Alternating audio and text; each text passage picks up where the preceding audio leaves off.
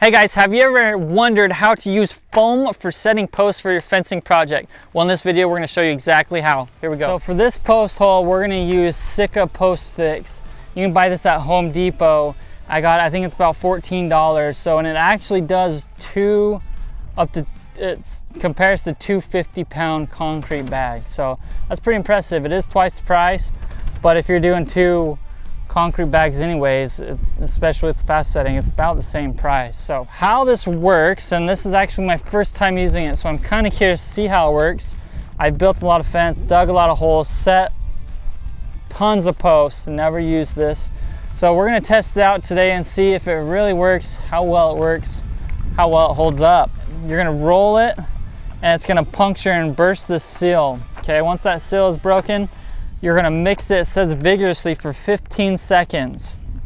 Now once you do that, you're gonna cut the corner, make sure your post is level and ready. You're gonna pour it in and uh, you have 10 seconds to make sure your post is level. You have three to five minutes depending on your temperature.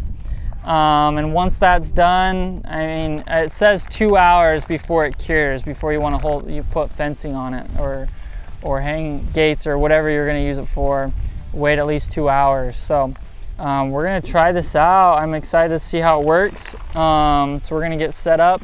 Our post in there, it was level. It shouldn't be too hard to get it back level again. So let's break this seal, let's mix it up and uh, see what happens. All right, I'm just gonna make sure my post where I need it to be.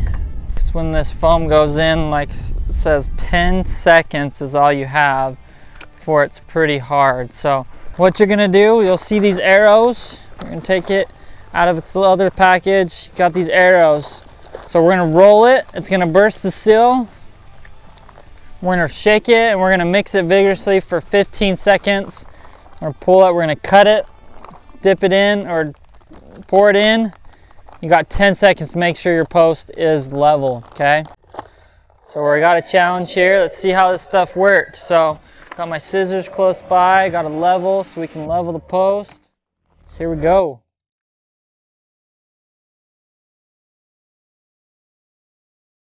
Maybe you gotta do it this way.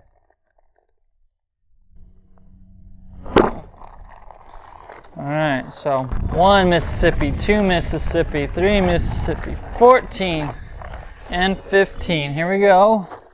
Now we got about 10 seconds after I cut this open.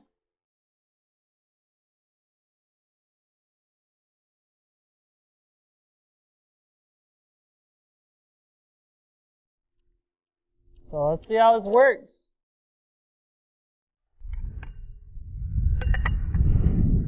So just keep making sure you're level. It's definitely filling up. You can feel it getting a little bit stronger. It's coming up actually probably faster now than it was. So just make sure you're on your string line, make sure you're level. We got a little bit of wind too. So when you got wind and blowing on your post, you're gonna wanna go back and make sure you double check them after a little while make sure they're set. Pretty cool stuff not gonna lie. All right so we just did some foam. This is my first time ever doing foam. I thought I was gonna have to go a lot faster. Well it, uh, it just gave us more time to work with. So um, I want to rush it mix it really well pour it in. When we first poured it in we were like I, I don't know if that's gonna fill that hole. And uh, it just started growing. So it's been about three minutes three to five minutes you know and and I had time to kind of make sure my post was set. It's still not solid yet obviously. We're gonna give it some more time. Um, but it is like holding it so there's nothing to worry about there. It also says it basically will do up to 250 pound bags which I don't agree with that. I just did a 50 250 pound bags on another post and uh, it filled the hole all the way up so just to compare right there, but it works pretty well. The seal broke really easily. It mixed okay. I cut it open and, and here we are. So um, I'm curious to see how it holds up here shortly.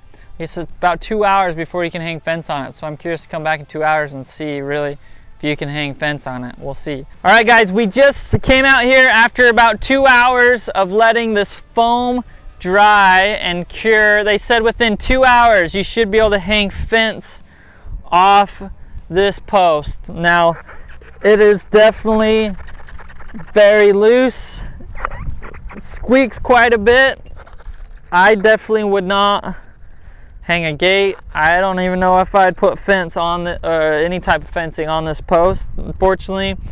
Um, there may be some better foam products out there for posts, but as far as the foam goes, I would not recommend it. You're better off with driving or concrete. It's actually more expensive to get the foam than some concrete. Same amount of work, just go with concrete. Um, it's obviously really light. The packaging is nothing. It's very little space, very light.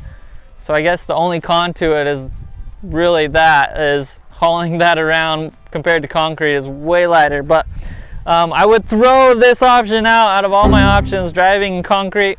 I would go with one of the other options. So anyway, guys, hopefully this helped answer your question on if foam actually works, but watch our next video and uh, hopefully we can help you on your next fencing project brought to you by Seven Peaks Fence Barn.